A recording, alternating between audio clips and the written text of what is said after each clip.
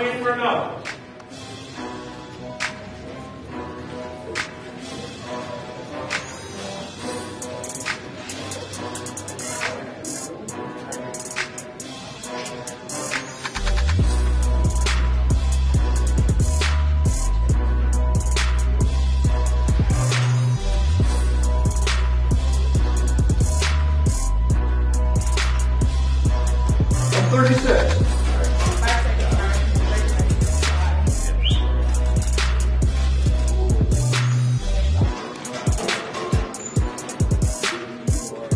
Him.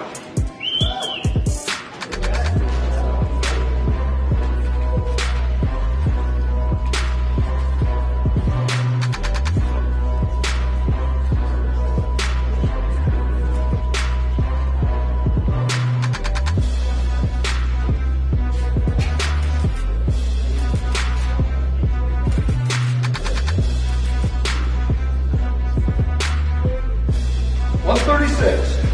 Thank you.